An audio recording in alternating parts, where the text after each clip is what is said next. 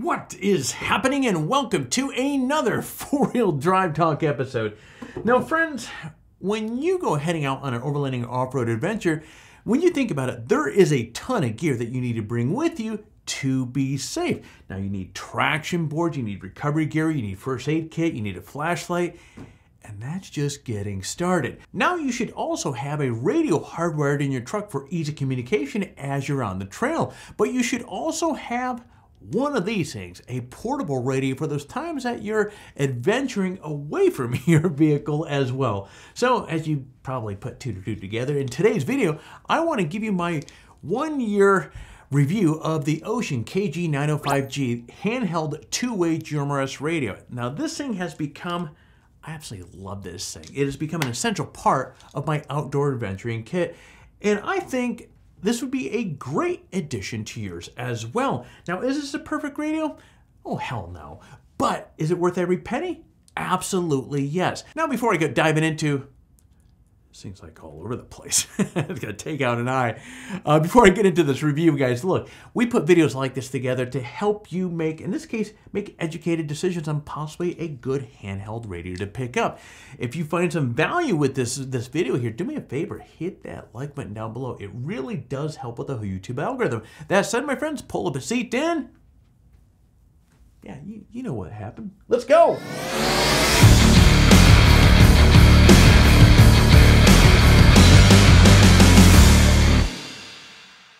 Now you might be wondering why I suggest that you have a radio in your truck and a portable handheld. And you know, you're probably think, hey Alex, isn't one radio enough? I like to have a portable radio for several reasons. First, helping guide others in a convoy. Now, if there's a particular tricky spot on the trail, it's much easier and much more effective if I can leave my truck and be a spotter for others in the convoy at that location where things get tricky. Now, it basically doesn't do me any good if I say, hey, Bob, uh, watch out for that rock on the left when I'm sitting in my truck. And with a handheld radio, I can be much more positioned much more effectively as a guy as I'm guiding and directing other people.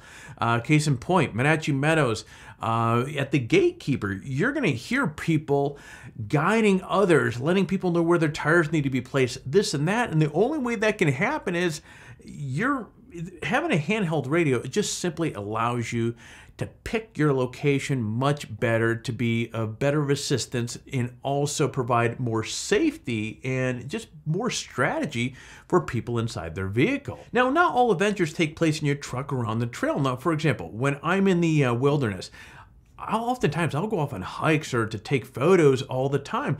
I can't very well be in my truck radio, or actually, let me rephrase it. I can't very well take my truck radio with me, so a handheld is the perfect alternative.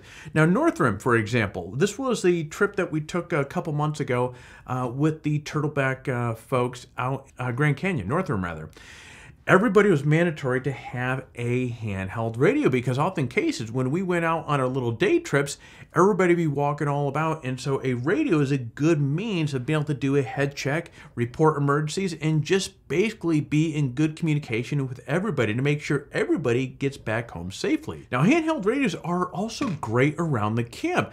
Now sometimes i'm going to use northrim as another good example there but sometimes there's a lot of people in your party. So campsite might be rather big. So you might have multiple campsites, campsites spread out over a large area. In a handheld radio, really, I'm telling you, makes it much easier to get in contact with folks, and it saves you a little walking as well. Um, again, using Northrim, um, I was at the far end, and I was, I was right here. You had uh, Alan from uh, Casey Highlights, and then going down all the way geez, almost about a half mile, you had uh, Keith with Turtleback at the very extent. And there's, again, we're talking about almost a half mile distance between where my camp was at the far end and, for example, where Keith was.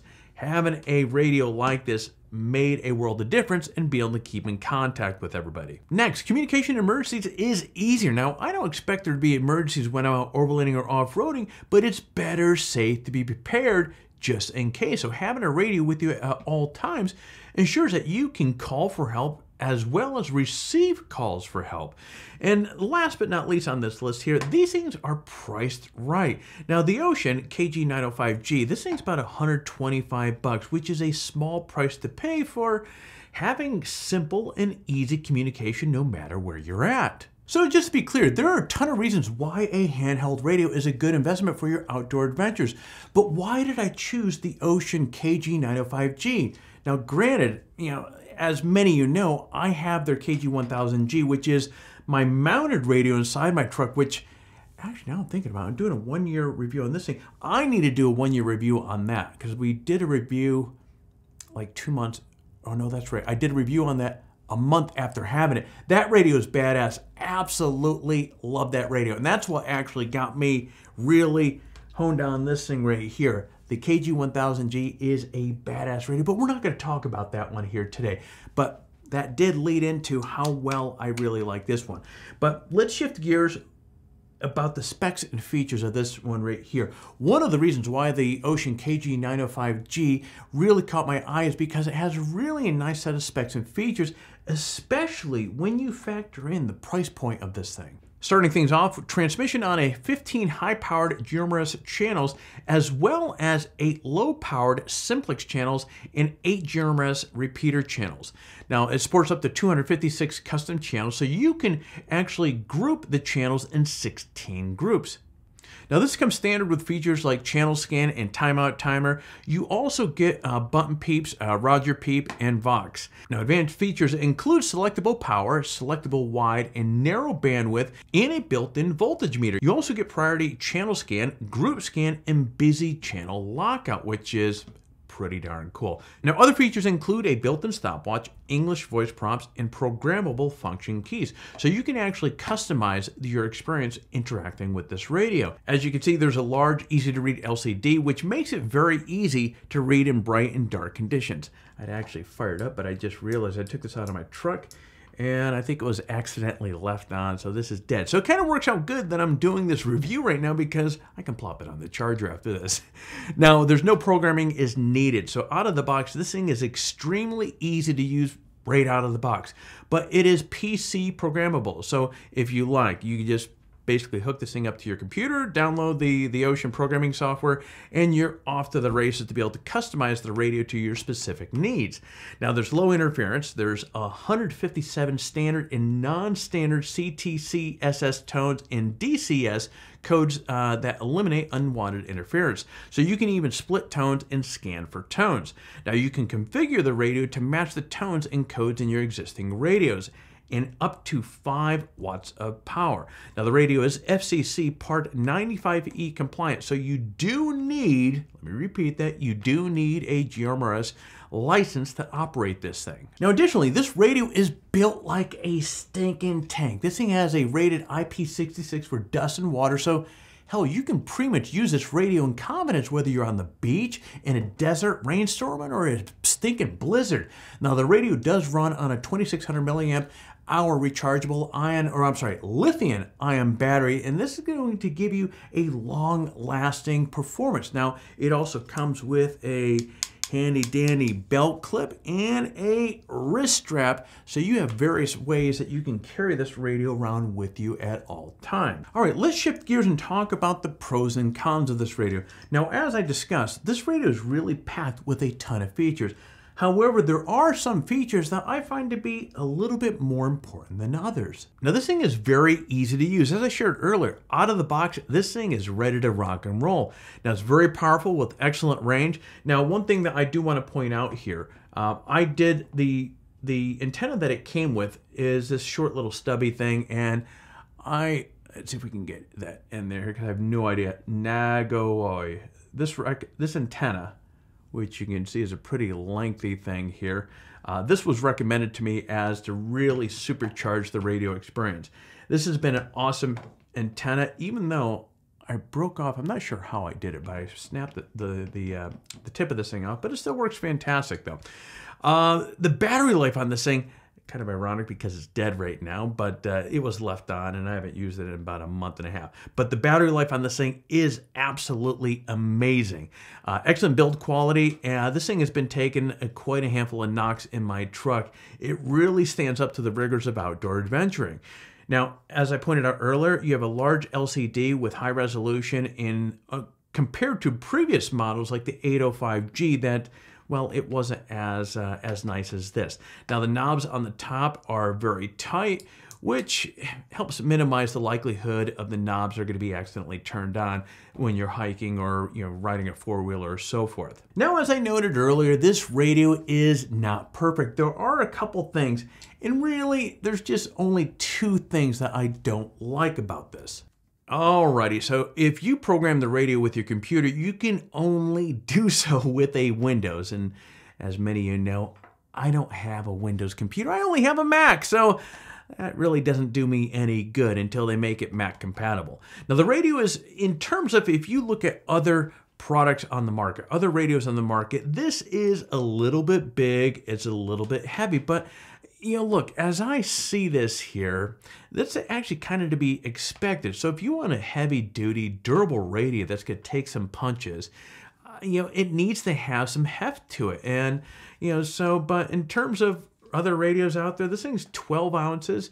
Um, the length of this thing is 5.25 inches. It's 2.5 inches by 1.5 inches, or actually the 2.5 inches is this way, and 1.5 is the, the depth there. So, I mean, it's a, it's a little chunky radio, but, you know, for me, I absolutely love this, but I'm going to be, you know, I'm going to put that down as a negative because, you know, it's funny. As I'm putting this together as far as what I'm going to share with you guys here, I really spent some time trying to think of the things that I don't like. The, the fact that you can only program this with a PC, yeah, that's one thing. Uh, the size, I figured, you know, I've had some people uh, make comment of the size of this. For me, I don't mind because, again, it's durable. It takes punches. But at the end of the day, if that's all that I especially don't like about this thing, I think this radio is doing pretty good. But after a year long of using this radio in all sorts of conditions environments, I can safely say that it's definitely worth the price of admission. Now, this is a really quite the feature packed, easy to use radio that has pretty much everything that you need and really not much that you don't. Actually, it doesn't have anything that you don't. So if you spend any sort of time outdoors adventuring, I can't recommend this radio enough. All right, friends, that is it for this review. Now, before we go signing off here, let's chat about our current giveaway, which has three excellent prizes up for the grab. We have the Peak Design 35 liter duffel bag, we have three Peak Refuel meals, and of course, the $100 Amazon gift card. Now, as always, entering the giveaway is actually really easy. Step one, like this video and subscribe to our channel. Step two, leave a comment below. In fact, the more of our videos that you watch and leave a comment on, the greater the chance that you have to win. So get watching some more of the videos and leave some comments. Step three, register on 4 Wheel Drive Talk and introduce yourself in the forum. Now, if you happen to register on the site during one of the last giveaways, friend, hey, you're still eligible to win. But as I keep saying over and over again, swing on by, say hello, we would love to see it. And that is it. For complete details on the giveaway or how to say hello on the forum, check out the description below. Good luck. All right, friends, and there you go. This was a fun video to put together. You know, I always say that.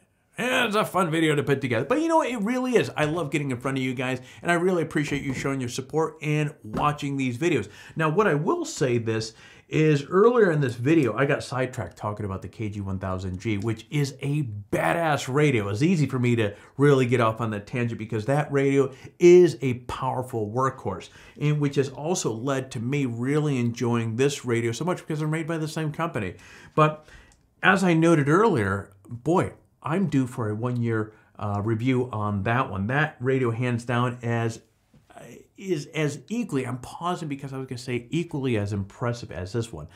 But actually, I like that one more. That's not to take anything away from this. This is amazing radio, badass radio. But the one inside the truck there, whew, that thing is a stinking tank, and that is feature rich as well. So, anyways, stay tuned, and I'll probably get that out here in the next uh, 30 days or so. But that will be a that will be a fun review that you'll definitely want to tune in uh, to. But Guys, it's that time of the video where I'm going to shut this camera off, that camera off, and get out of here. So if you found some value with this video, you'd be doing me a big favor by hitting that like button down below. If you haven't already, actually you've gone this distance, why not hit the subscribe button so therefore we get to see more, more of each other in the future. Actually, you technically have to hit that bell so therefore YouTube does its whole notification thing every time that we come out with a video, but you get the point.